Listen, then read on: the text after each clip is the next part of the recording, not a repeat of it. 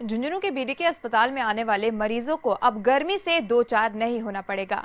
पंखों की कमी से जुड़ी खबरें मीडिया में आने के बाद अब भामाशाह अस्पताल में सहयोग करने के लिए आगे आने लगे हैं और इसी क्रम में सनराइज सुपरमार्केट के संचालक अस्पताल पहुँचे और सेवानिवृत्त पीटीआई बाबूलाल थलौर की अगुवाई में कार्यवाहक पीएमओ डॉक्टर एस के कालेर को दस पंखे भेंट किए।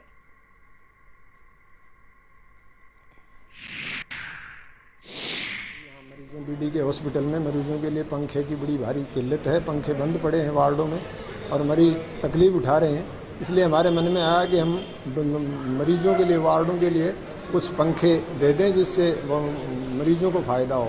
पीएमओ साहब से बात करके हम इनको आज डोनेट कर दिए हैं और इन पीएमओ साहब से निवेदन किया है कि ये पंखे अन्यत्र नहीं लगा करके, केवल वार्डों में जो मरीज़ के काम आए